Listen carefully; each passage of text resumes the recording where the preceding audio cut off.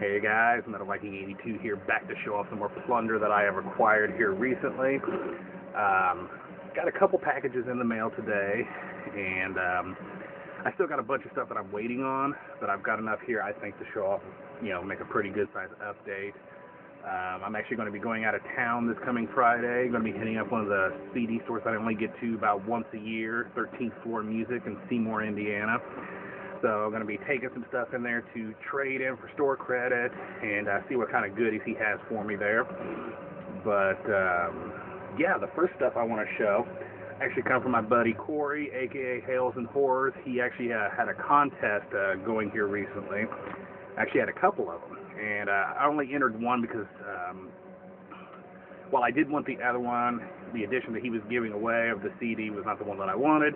And I know that sounds stupid, but hey, you know, I did enter one, and I usually don't win hardly any contest. You know, Runner JMA's contest that I won a little while back was like the first one that I've ever entered here on YouTube that I won, and uh, Corey's was the second.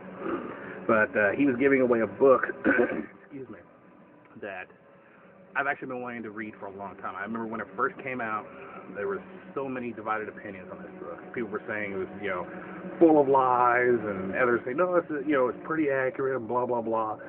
And I just never got around to buying it. So uh, when I saw he was giving this away in a contest, I entered and I was very shocked to see I won. But uh, he ended up sending me the Lords of Chaos new edition book.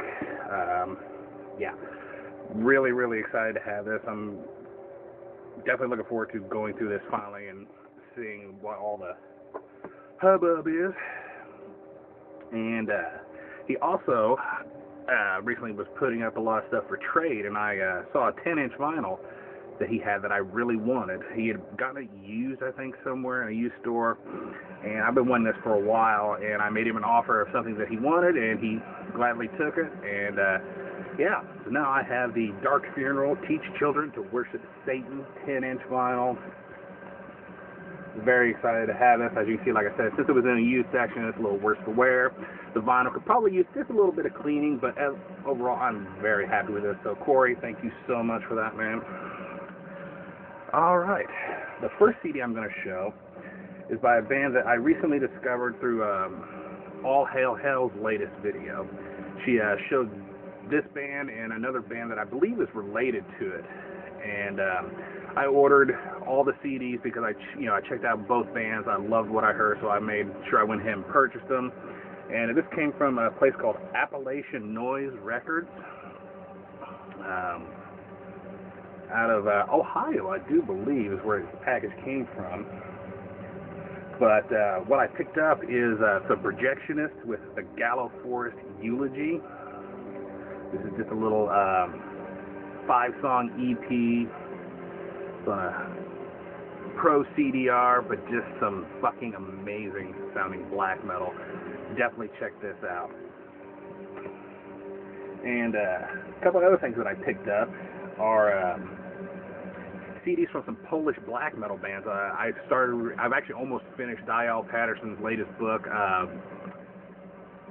Evolution of the Cult, Volume 1 and uh, he spent a good chunk of the first part of the book talking about the uh, Polish black metal scene. And uh, I started checking out bands while I was on vacation when I could get a good enough signal, and a couple of them that I found were uh, first is uh, Xantotol, which uh, this is the uh, Glory for Centuries, Cult of the Black Pentagram, and Thus Spake Zaras, Zarathustra. Sorry. And this is basically a two CD collection of, um, sorry about the glare, still working on this, there we go. Uh, like I said, two CD collection, which pretty much has all the material that this band ever put out. It was a two-person project, one man, one woman, and uh, if I remember right from what I read, they were actually a couple. So I guess you can say they're kind of like the first, you know, power couple of black metal, at least in Poland.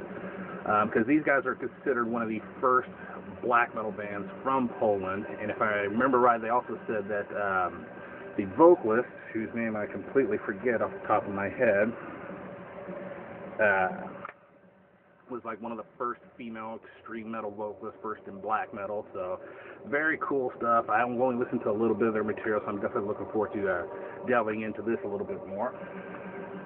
And the other band that I uh, checked out and I fucking love. I still need to get their second album. Is uh, Mastiphal with For a Glory of All Evil Spirits Rise for Victory.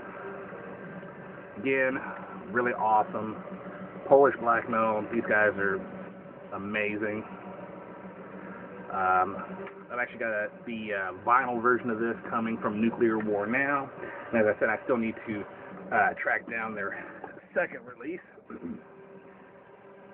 All right. Next up is an order that I got from Elegy Records, which is based out of uh, New Jersey, I do believe.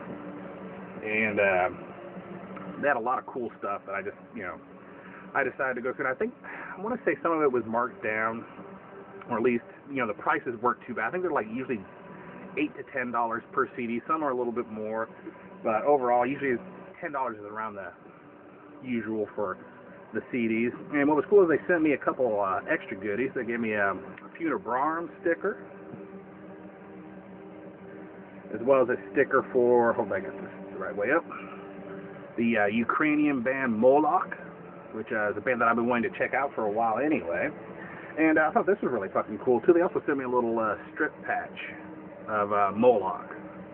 So that was really cool. First CD I got from there, though, is uh, one that I've been trying to track down since it came out, and for some reason I just could never find it. That's uh, by Burzum. So I finally completed the uh, kind of black metal version of Burzum's catalog. So very excited to give this a listen. Next is uh, Raven Moon Sanctuary with Winter Desolation of Death a band that I had no clue about until I saw them on this uh, site and I listened to a little bit of this album and I really dug it, so I went ahead and picked it up. Another cool black metal band, and uh, this one, oh, I was so excited to see they had this in for only ten dollars because other places that I've looked for it has either been out of stock or it was through sellers that wanted way too much money for for whatever reason.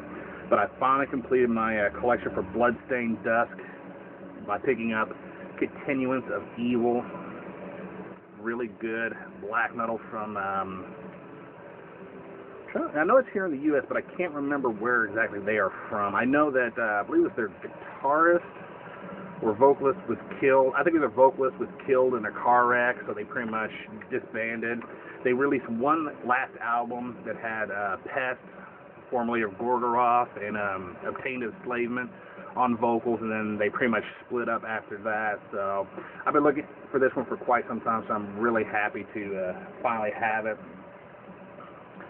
Also picked up Shining with Within Deep Dark Chambers. Very excited to check this out because I hear early Shining, at least from a lot of people's perspective, is some of his best material. So, yeah can't wait to give this a spin. And the next couple are by a band that are, well, it's a one-man project, but a lot of people, I don't know, there's a lot of people that hate him. They hate his music, but I'm one of those ones that I just, I love pretty much everything I've heard from him so far. And that's uh, Striborg with In the Heart of the Rainforest and Through the Forest to Spiritual Enlightenment. As I said, really cool one-man black metal from, uh, I want to say New Zealand, I'm pretty sure. I remember seeing the uh, one-man metal uh, documentary featuring him and uh, Jeff Whitehead and Scott from Xasthur, and that was actually where I first heard about him, and I started checking out his material. And like I said, a lot of people don't like his music, and I don't know why, because I think he makes some pretty awesome uh, black metal. But I also picked up uh, the Foreboding Silence very cool stuff. There's the man himself. They also had a couple of uh, compilation CDs there, which I believe are like demo compilations and stuff like that. So eventually I will get around to uh, picking those up. Finally got me another Drowning the Light CD. This is uh, Oceans of Eternity. Canyon, I know you're probably going to be watching this. I told you I was going to have some pretty awesome shit, and I knew you would uh, probably get very excited when I showed some Drowning the Light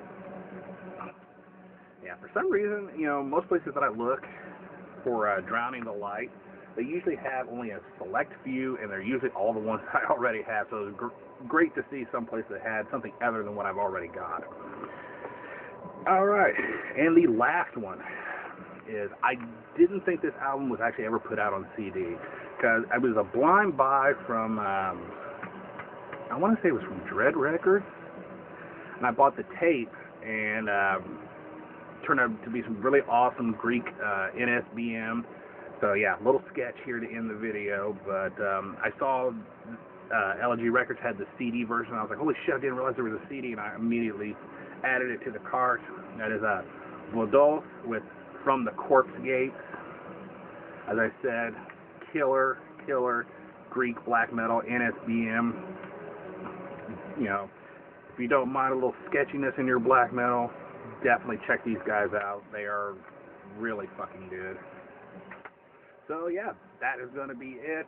Thank you guys so much for watching and subscribing, and uh, hopefully uh, I'll have another video, either review if I have time up this week, and if not, then next week I'll try to get up um, a couple more videos. Definitely I want to do another update because by then most of my stuff should be here, or a good chunk of it. So yeah, as I said, that's going to do it. I'm going to quit rambling. I got a lot of stuff to get done now, so thank you guys again so much for watching and subscribing, and until next time, stay brutal.